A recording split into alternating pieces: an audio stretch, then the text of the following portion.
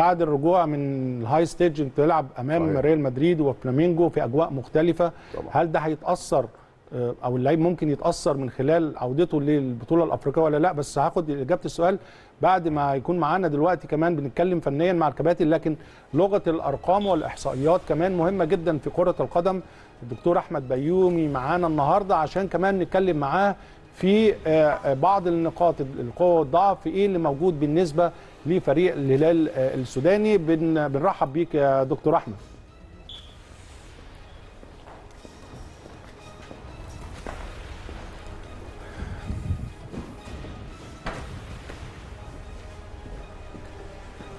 يا دكتور. أهلا وسهلا بحضرتك يا كابتن. هاني سعيد دايما اكون مع حضرتك. حبيبي. حبيبي منورنا ودايما متألق و منتظرين إيه بكره؟ يعني دايما آه، كنت بتكلم مع الكباتن كابتن ماهر همام وكابتن محمد حشيش بنتكلم على دايما مواجهات الفرق المصرية سواء على مستوى الفرق أو المنتخبات في السودان بتكون مواجهات قوية وليها آه، يعني ليها تدخلات على المستوى البدني. لكن خلينا أكلمك على الهلال.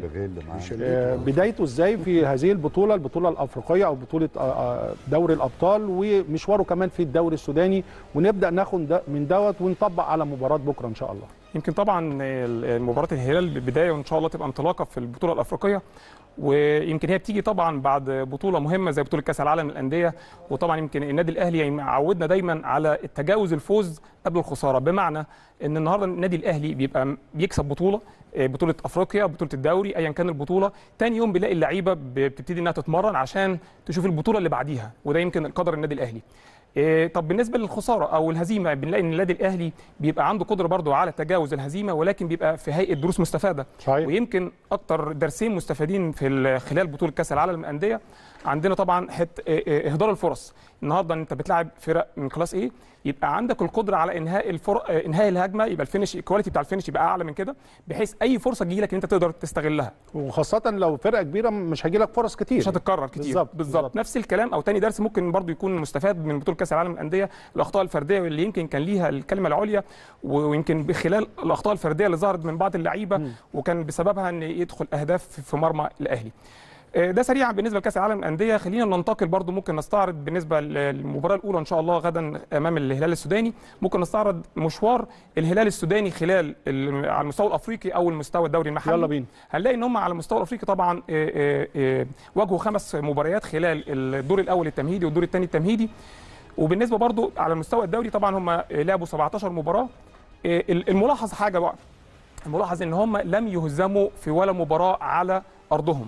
يمكن هم خلال الدوري السوداني آه، آه، آه، خسروا مباراة وحيده لعبوا كم مباراة في الدوري السوداني؟ لعبوا 17 مباراة. ما خسروش ولا مباراة على أرضهم. على أرضهم. هم خسروا في مباراة وحيدة كانت أمام الأهلي الخرطوم.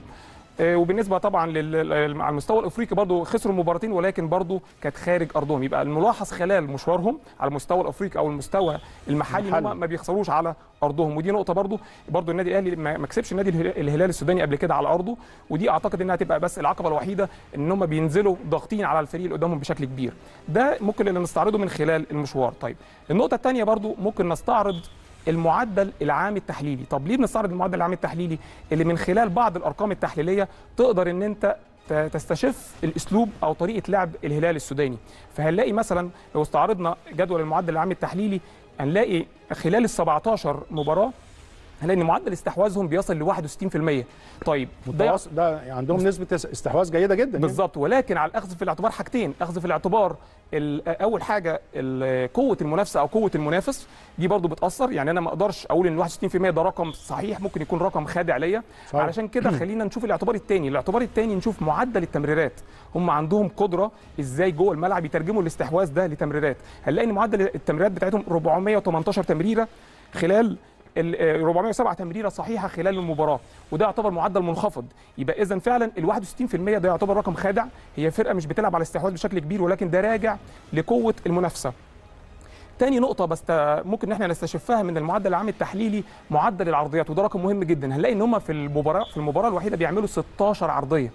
ده يعتبر فعلا إيه، أو أو أو شكل طبيعي لإن هم ما عندهمش قدرة ينقلوا الكورة جوه الملعب فهيبتدوا يلجأوا للأسلوب الثاني وهو أسلوب الكرات الطولية العرضيات الكرات العرضية زي ما بنتكلم ممكن جدا برضو الناس آه،. يعني ممكن جدا الكرة العرضية تتعمل من نص الملعب مش لازم مش لازم أوصل لحد نهاية لحد. نهاية نهاية الملعب وتبدأ تعمل كرة عرضية وبالتالي برضو الرقم لازم الناس. تفسره شوية لأن ممكن جدا تكون من وسط الملعب بي- بيلعب كرة عرضية داخل ال 18 ممكن تكون لحد ما عشوائية والرقم آه، يعني ممكن يكون خادع بالنسبة للناس يعني. بالظبط. طيب خلينا نتأكد برضو من النواحي التحليلية دي نشوف إحصائية مباراة الهلال وصن داونز. آخر مباراة طبعا آه، آه، اتلعبت.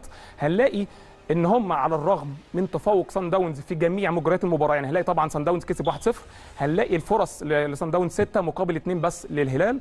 هنلاقي نسبة الاستحواذ 66% لصن داونز نفس الكلام بالنسبة للتمريرات. التمريرات صن داونز هنلاقي 637 تمريرة. اذا أنا عايز أقول إن صن داونز كان مسيطر على جميع أجزاء المباراة. ولكن الحاجة الوحيدة اللي الهلال بدأ إن هو عنده القدرة يتفوق فيها هنلاقي العرضيات. تاني نفس 14 الكلام. عرضية. مقابل خمسة.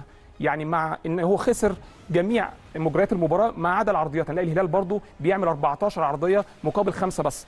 طيب خلينا برضو نستعرض أو نترجم دوت نشوفه على المستوى ال- النواحي ال- ال- الفنية جوه الملعب. هنلاقي مثلا آخر مباراة اتلعبت في الدوري السوداني هم لعبوا آخر مباراة أمام الأهلي مروي. هنلاقي إن هم أول هدف ممكن لو استعرضنا الهدف ممكن هنلاقي إن هم الهدف في أول دقيقتين كان من من من عرضية. نفس الكلام برضو بنقول إن هم بيلعبوا على العرضيات.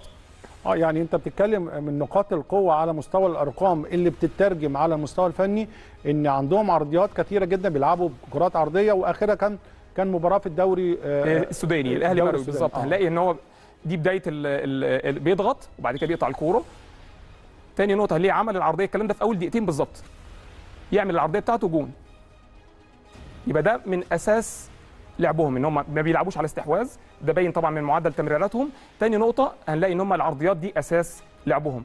ممكن برضو إن إحنا بعد ما نستعرض الهدف اللي جابوه من عرضية نستعرض برضو طريقة اللعب أو ال main formation بتاعتهم طريقة لعبهم بتتم إزاي جوه الملعب.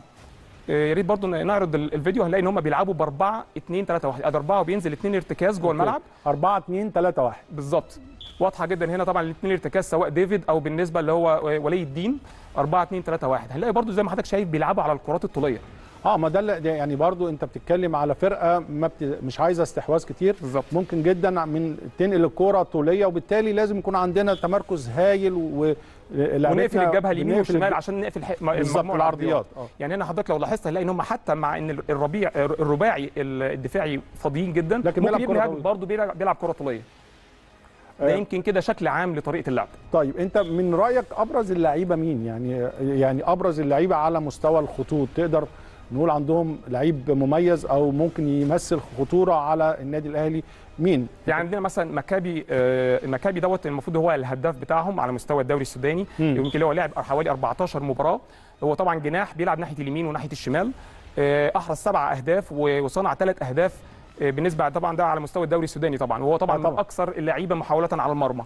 يمكن هو الماتش اللي بالنسبة لسان داونز هو كان احتياطي بعد كده نزل آه، وبيحصل تبادل سواء جناح يمين أو جناح شمال. آه يعني بيتحرك من بيحصل اليمين switch للشمال. كتير آه بيعمل بالظبط. switch آه okay. نفس الكلام بالنسبة لايمورو ايمورو برضو من أحد المدافعين أو ال- ال back left بيبتدي برضو دقة العرض- العرضيات عنده كبيرة جدا. وبالنسبة برضو لنواحي الخ- الخطورة عندهم back left يعني ناحيه جبهة الناحية اليمنى بالنسبة لنا الموجود فيها محمد هاني محمد أو, هاني. أو الشحات يعني. بالظبط.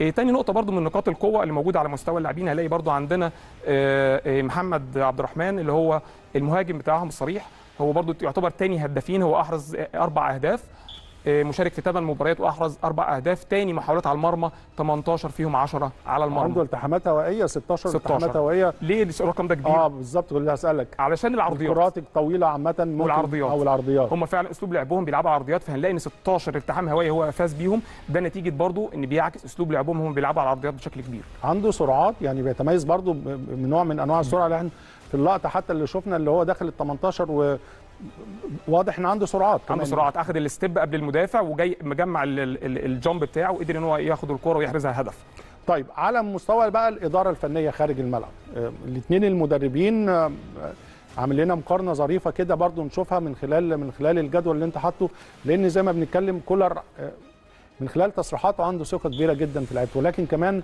عارف إن المباراة صعبة. يعني هو قال المباراة صعبة وإحنا جايين مركزين كويس قوي. عندنا ثقة في نفسنا من الأداء الجيد اللي اشتغلنا عليه في كأس العالم للأندية. على الجانب الآخر آه، آه، طبعا الهلال خسر المباراه الأولى بالنسبة له أمام آه، سان داونز وبالتالي هي مباراة آه، لا تقبل القسم على اثنين يعني.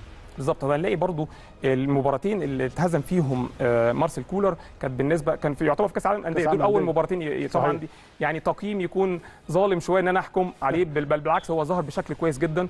آه،. قدر يطور في في على المستوى الفني للعيبة. هنلاقي إن هو طبعا آه، خاض الأهلي في 24 مباراة مقابل 22 مباراة لفلورنت. طبعا المدير الفني لنادي الهلال. طبعا برضو بالنسبة بالنسبة فني لفلورنت كبير على فكرة كسب الكونفدراليه مع بالظبط. مع نهضة بركان يعني. نهضة بركان بالظبط. يعني- يعني وكان بيلعب منتخب وكان قاد منتخب الكونغو. آه يعني لا يعني مدرب عنده خبرات وعنده آه، يعني عنده رؤية وفيجن وعنده خبرات في البطولات الأفريقية بشكل كبير. هو صرح طبعا طبعا تصريح بالنسبة لأن المباراة أمام النادي الأهلي مش هتكون مباراة سهلة.